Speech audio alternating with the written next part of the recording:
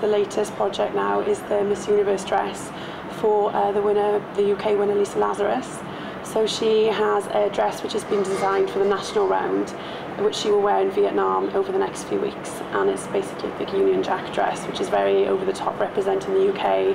Um, obviously, we couldn't really go with Welsh, Scottish, Irish, you know, and English. So we've tried to just go for the obvious Union Jack, which will stand out, and a headdress, and just very theatrical.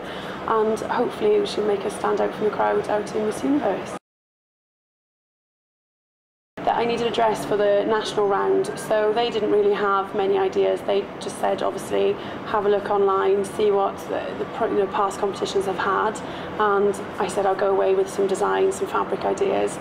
Went back with quite a few uh, different ranges of clothes, some very uh, over the top, some more subtle, but we decided that the Union Jack dress along that theme would be better because really the judges need to make a decision within five seconds of where you're from, so it seemed the obvious answer for us and just went from there really and went from very over the top, um, quite couture type style gown, looking at Vivienne Westwood who's very over the top, very big and very dynamic. So we came up with a dress which is quite striking, quite simple but very, very striking.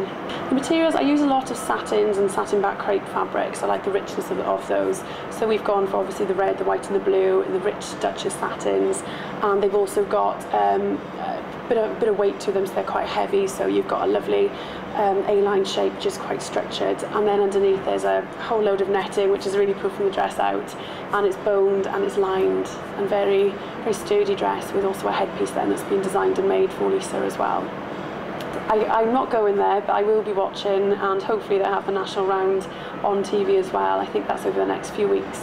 But it would be fantastic just to have the opportunity to have one of my designs on the world stage, really, with the world watching. So fingers crossed she'll stand out, I hope.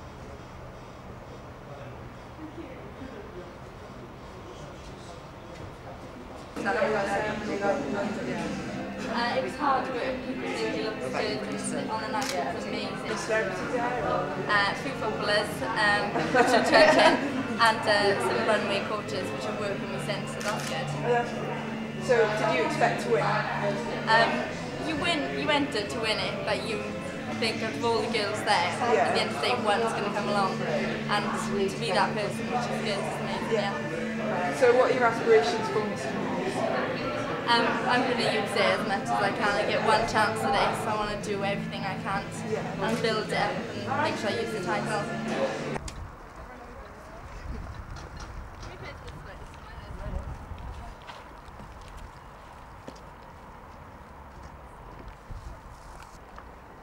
My mother said she could never get me off the floor when I was a kid.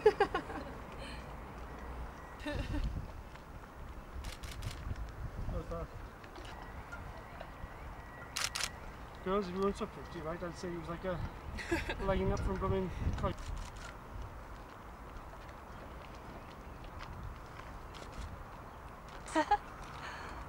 There, whoa. One more, and then I leave you to it because your arm's probably dropping off after just having your jabs. Marvellous.